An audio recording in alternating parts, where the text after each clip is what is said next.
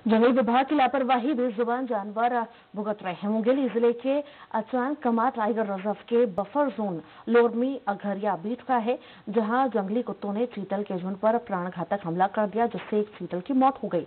ग्रामीणों ने बचाव किया, जिससे अन्य चीतल जंगल की तरफ़ भाग खड़े हुए, जिससे उनकी जान बच गई। वरना बड़ी संख्या में चीतल मारे जाते। अचानक टाइगर रिज़र्व के अधिकारियों ने पूरा जंगल पैदल गार्ड के भरोसे छोड़ दिया था।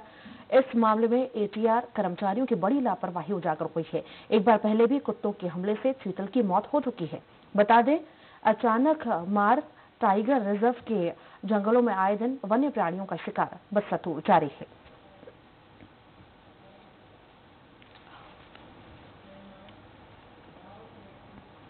और आइए देखते हैं स्वराष्ट्र